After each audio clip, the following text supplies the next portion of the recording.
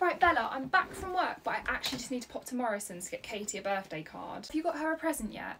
You haven't? Okay, I'll get that. Also, I was going to do leftovers for dinner, but actually, I think we'll just get a pizza in. Can I leave you to organise all that? Can you get it delivered for about seven o'clock?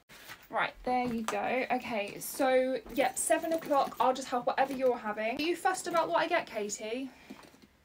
Chocolate. Okay, what chocolate? Anything else? Because that's not very expensive. And she did get you a nice bracelet, didn't she?